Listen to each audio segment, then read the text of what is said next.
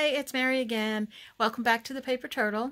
I am here with another haul video. I believe this one is number nine. And um, as usual, I've got some fun stuff going on there. And I just wanted to say I really appreciate all of you new subscribers. Um, not sure where you're coming from, but I appreciate it and keep it coming. If you like my videos, hit that subscribe button. Um, give me a thumbs up, leave me a comment or two. Um, well, just one comment. That will be enough. Um, that's fine. Um, anyway, sit back and enjoy the haul, and I hope you find something you like. Okay, to start with, um, we need to move Mr. Turtle out of the way. I picked up this um, Raggedy Granny Stories book. I have not seen this book before. I am um, as I've mentioned before, a collector of Raggedy Ann and Andy, and this book is new to me. Um, it is not written by Johnny Gruelle, but it is written by Johnny Worth and Justin Gruelle. And it says, and others. Um, oh, actually, no, I'm, that's wrong. Sorry. It's written by Doris Thorner Salzberg and it's illustrated by Johnny Worth and Justin Gruelle and others.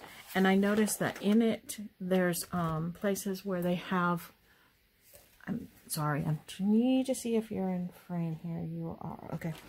Places where they have illustrations and they have them marked that they're from the old books. So that one's copyright 1941.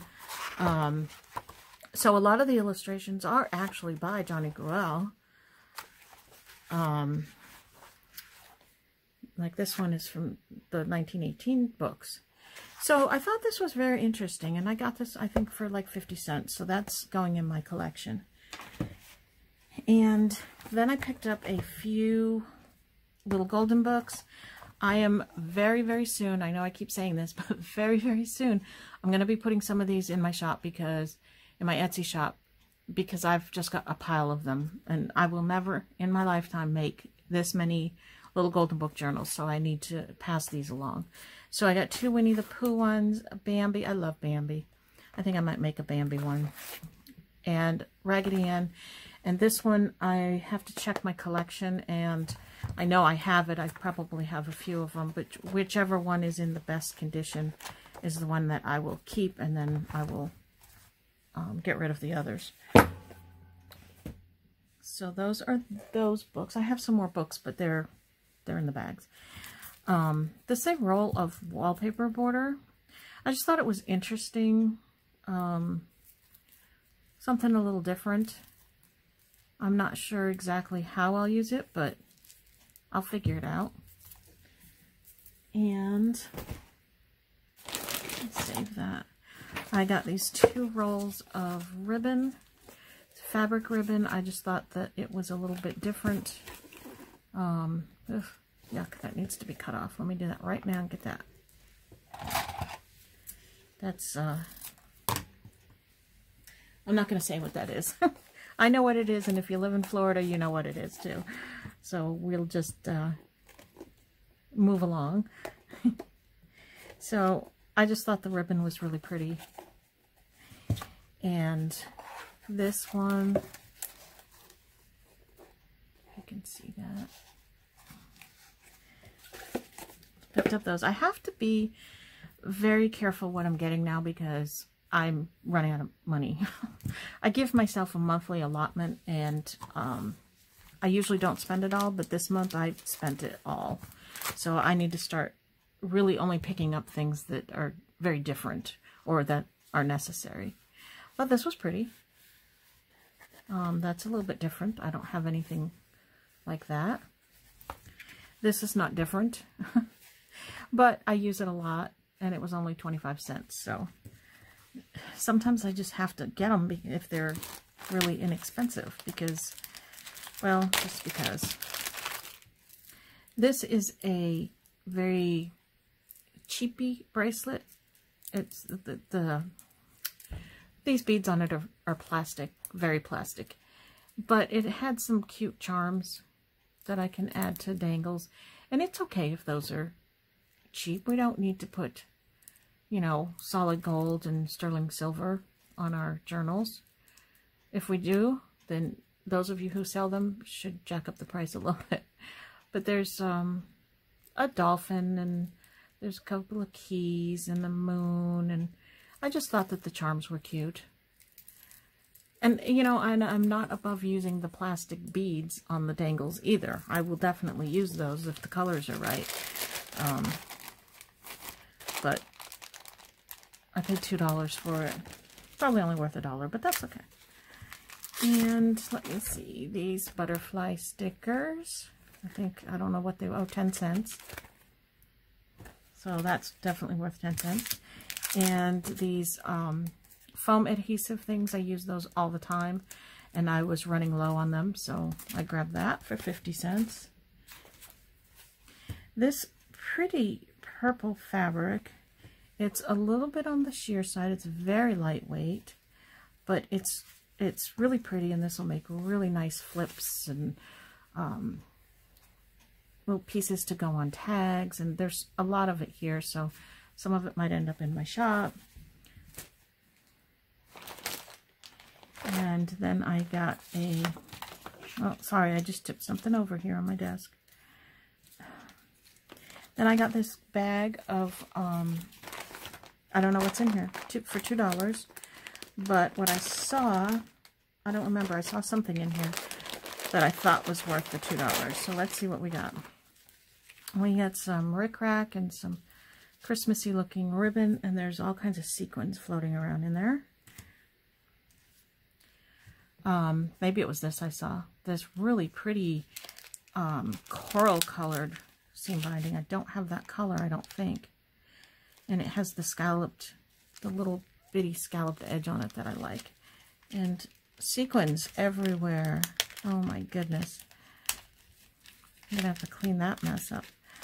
Okay, then, what is this? A collar? I don't know what that is. I think that's, says wrap. I have no idea what this is supposed to be. It's probably going to end up in the trash. This pretty lilac color. That's really nice. Um, there's a green. There's some white and some blue ribbon there. This is not very in very good condition. That may not keep. Some peach color ribbon. An extra button envelope that has no buttons in it, but I like the envelope. I'll use that. Um, this is, this looks more like upholstery trim.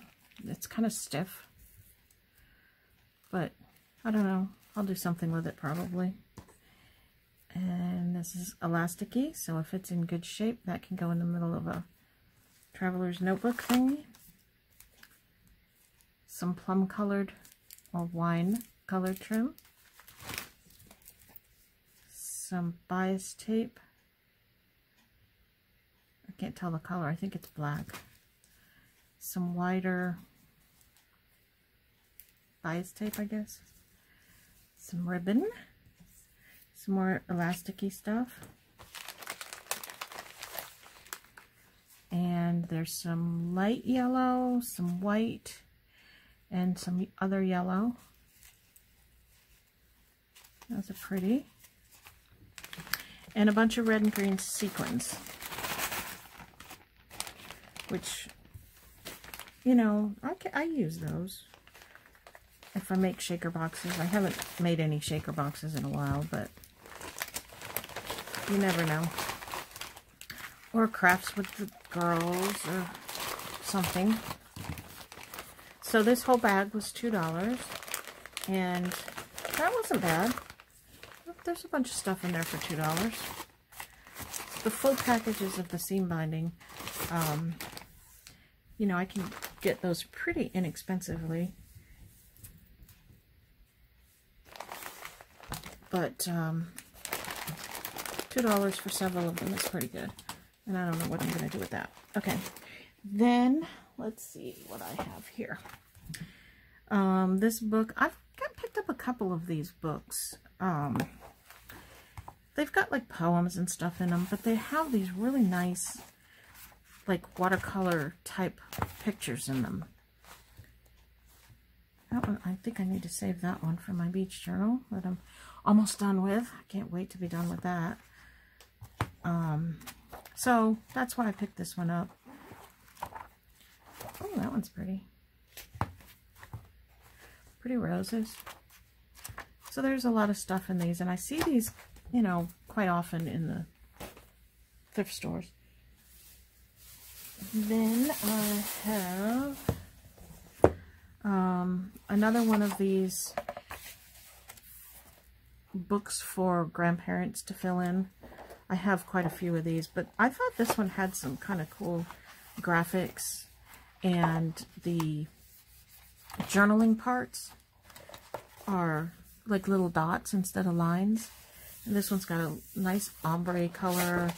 Um, so this one had some very different things in it from other ones I've picked up. So this will, there's a lot of material in here. And I found an old ideals. I'm learning that the older ideals are the ones with the better pictures. Um, the newer ones are nice too, but the older ones have some really, really nice and vintagey looking pictures in them. So I have several ideals, but isn't that pretty? I have several, quite a few ideals books, and I use them once in a while. I need to use them more often, probably.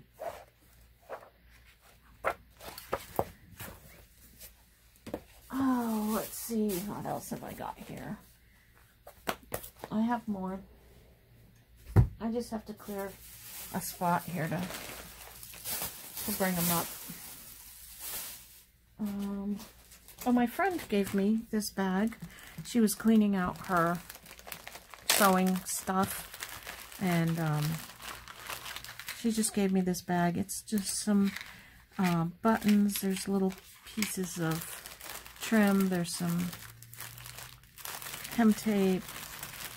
Um, nothing, there's nothing, it's not vintage, there's nothing extraordinary, but, you know, I can always use buttons, all different kinds, different colors, so I really appreciate that. So once you get the word out to your friends and family, what you use, she's been to a couple of estate sales with me, so she knows what I'd like to pick up. Um, they'll start finding stuff for you and giving you stuff. And that's that's always fun. I like that. Um, okay, I have another bag here I think, yeah. This, oh, I picked up a couple of work baskets. These are from 1962. I love these. I love the ads in them. Oh, look at that. That's pretty. Um, I love the ads. I'm not sure how to use some of the full pages though. I'd like to use some of them somehow and I just not quite sure. So if you have any ideas on how to use some of the stuff that's in these these old books, look at that. I love that. Let me know. I know to put them on tags and journal cards and things like that, but I'm thinking like larger, like for pages or something. So I don't know.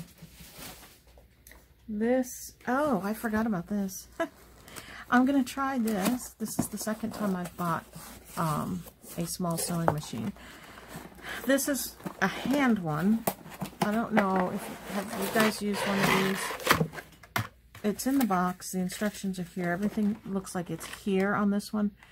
The last one I bought was a little little mini sewing machine, an actual sewing machine, and there was a part missing from it, and I didn't know that, so I couldn't use it. I had to throw it away.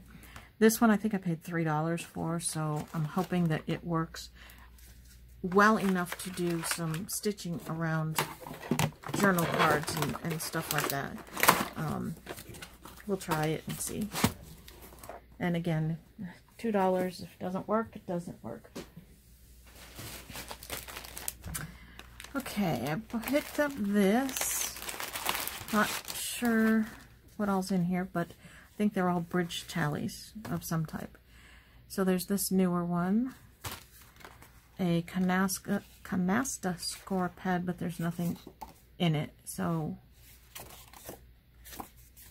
but the packaging is kind of cool. Bridge score pad. Doesn't look real vintage, but that's all right. And then there's a couple of these. And these are, I guess they're bridge. Again, I don't know how you play bridge. I don't know how you score it or anything, but have a few, a couple of those. This is an older one. I thought that was pretty neat cover. Pages are a little bit aged. This one is, is pretty well aged.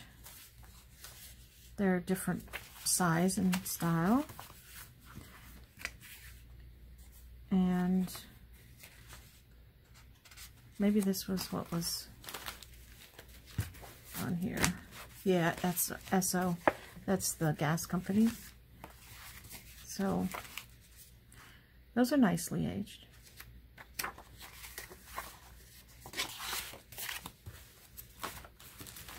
So those will be fun to play with.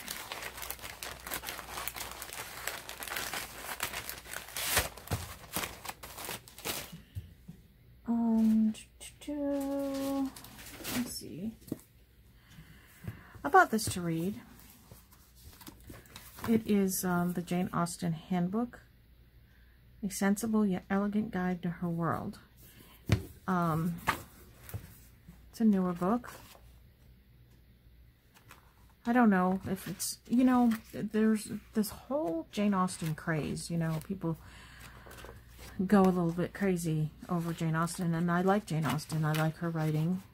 Um, but the things that have come out after you know, following her books, like, you know, continuing the story of Mr. Darcy or whatever, um, I, I tend to shy away from those because those are not Jane Austen. You can't duplicate Jane Austen and you can't write like her. So I tend to not really read those too much unless I'm looking for some light fluff reading or something, then I might. But I just figured I'd pick this up and see if it really has any um, information about Jane Austen, but I'm kind of wondering if it doesn't. I'm not sure. I'll have to read it. And this was this little pamphlet, a literary tour guide, Jane Austen's England. Um, I don't know if this person actually went there or not. I'm going to guess maybe they did. So, that's kind of interesting. Be good for if I decide to do a Jane Austen journal. This is a map of Bath in the time of Jane Austen. So that's got some interesting pictures. And it tells, has a nice map in there. Tells about different places. So that that might be kind of fun. That those all came together in that book. And, oh, have you ever seen this movie? I love Hugh Grant. And uh, I saw this movie, so I picked it up. And uh, this is funny. I've, I saw this when it came out in the theaters, and it's it's a pretty funny movie. If you haven't seen it, you need to um, check it out. It's, it's pretty good. Um, and I picked up these couple of old singer books. Um, let me see if there's a date in here. 1960. This one is How to Measure, Alter, and Fit. Look at that. That is so cool. This this right here is my grandmother's. My grandmother had that exact same um, sewing machine and um, cabinet. And when I was a little girl, I used to go and she kept her thread in these drawers. And I would go to her house and I would clean up her thread drawer. they were all, you know, tangled up and the threads were just thrown in there and stuff. And I would go clean her thread drawer for her. It was something I just liked to do. I don't know. So this this is going to go in my journal and I will talk about my grandmother and how I used to clean her thread drawer. But this will be fun. There's um, lots of really cool illustrations, and it is held together by um, staples in the middle, so I can take it apart, and this can be um, signature pages. So I picked up two of those, and these are like in really, really, really good condition. That's cool.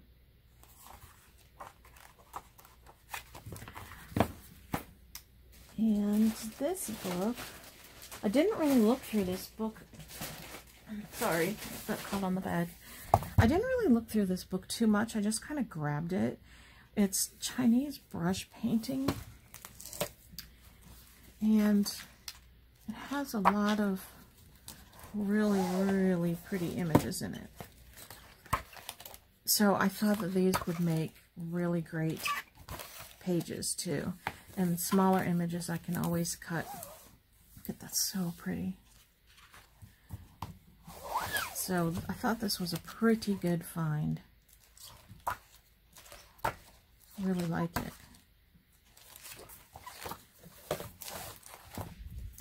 And everything's falling down. I need to put everything back in here. Oh my gosh, I forgot I got all of this stuff.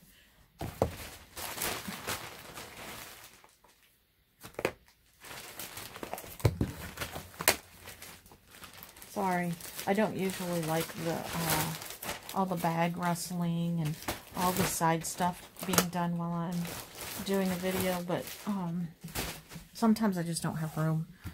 Okay, this was another book about Jane Austen, The World of Jane Austen. Obviously, the person that lived at this house was a fan. Um, this has a lot of pictures in it. I'm going to guess that she went over there and um, got to visit. She's got little bookmarks in here. So this is, this will be interesting and I will probably read this and I don't know, may or may not cut it up. We'll see. But that looks fun. You know, I go to these estate sales, I pick this stuff up and I bring it home and I just drop the bag in my room until I get around to doing this video. So sometimes if it's been a week or so, I forget what I even picked up. Obviously a deck of cards, but what are they? Oh, they're shells. Okay. I think I've used some of these already in the journal I'm working on. So that's those. And I have one more bag of what I picked up today. Just got back from an estate sale today. And I dropped the bag in my room and thought, you know what? I need to put this stuff away. So I'm going to go ahead and get this video done. Alright, so one of the things that I got, don't laugh, I got one, two, three, four of these bow hair clip things. Um, now, the reason that I got them was for the tool. Okay, I like to use this on um, clusters, you know, behind the elements and stuff in the backgrounds. So, do you understand why I got these? I know you do. So there's a green. They're pretty um, snarly and, and crumpled up and stuff. Hold on one second. I have to go shut my door because my husband just walked in the house and he'll come in.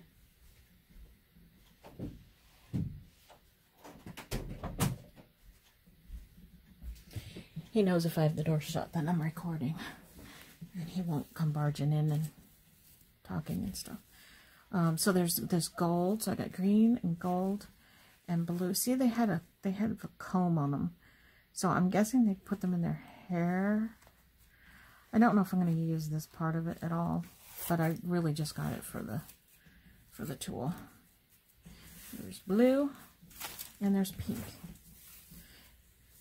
And these were all shoved in a box. And in the bottom of the box, there was a whole bunch of, all I could see was a whole bunch of pink tulle. I don't know if there was a tutu in there. I don't know what it was, but I didn't need that much of it. So I just picked up these.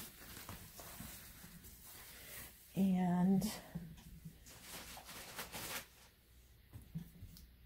I picked up, what is this? Oh, another one of these books. Um, one of these tell me your, excuse me, tell me your story books. Um, it's got pretty blue lines on it, and that's what I use out of these.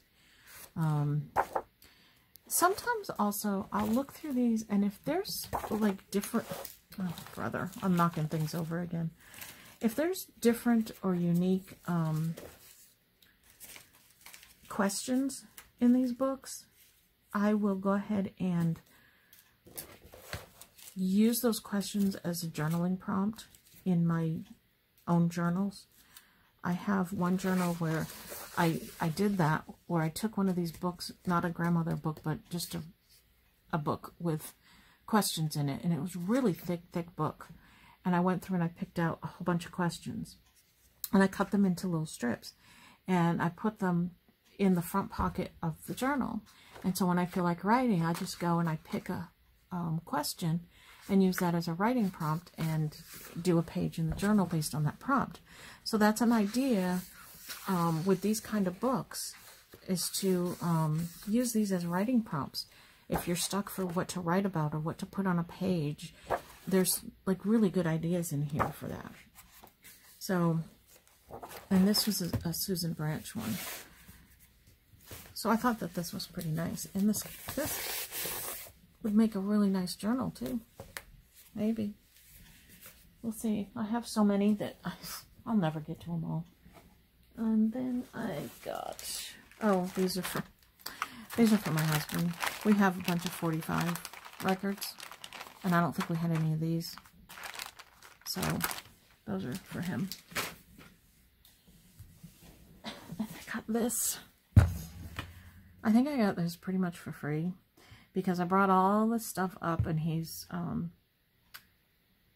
adding it all up and he had kind of set this aside a little bit. He added it all up and he told me a total price and um, it was way less than I had expected to begin with. And so I said, okay. I gave him the money and took the stuff and ran. um, this, I have a couple more of these that I had picked up a while back and I've used them several times in my journals. These are um, watercolor, like instruction books. They're patterns to do watercolors. Look at that. And look at how big this paper is.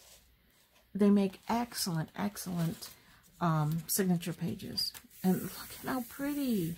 They're so pretty. So this is um, I was surprised to see another one because I don't see them very often. But look at that. Oh. So, I can't wait to use some of these. Fun, fun stuff. And uh, just a couple more things. Oh, I picked this up. It's from 1980. It was not $5. The guy put the put a price sticker on there. I don't know why. I only paid a dollar for it. Um, says special pages for your pocket day timer. And it, there's to be done today. And they come in different colors. There's yellow and the blue ones say notes, notes and memos made in January. Okay. And then there's some blocks. Expenses for September. November 10th auto mileage record. At first I thought these were like, um, I thought they were carbonated copies of the same thing, but they're not. They're all different pages in here. It's a calendar. Some note pages. So that was pretty cool. You can do a lot with those. And I got this box of, I can throw that box away. Uh, probably throw that away too. These are um, you know, page protectors, which I will use either in my scrapbooking or I am working on a, um, a three ring binder journal. And these will be good in there. You can slip pictures in here. You can use these to make shaker boxes. Um, there's a lot of things that you can do with these, but I do use these in my scrapbooking if I don't use them in my journaling. So that was a good little buy. And anything else? Let me see. Oh, one more thing. I got these. I don't know what he charged me for these. Probably 50 cents. But I can cut them up. I don't know if they're hand done or not. But there's two of them here. So, that, I believe, is my haul for today. I hope you enjoyed it. I hope you find found something in there that you thought was um, wonderful. And if you did, tell me what it was and what you would do with it. Um, so until next time, we will see you later. Bye-bye.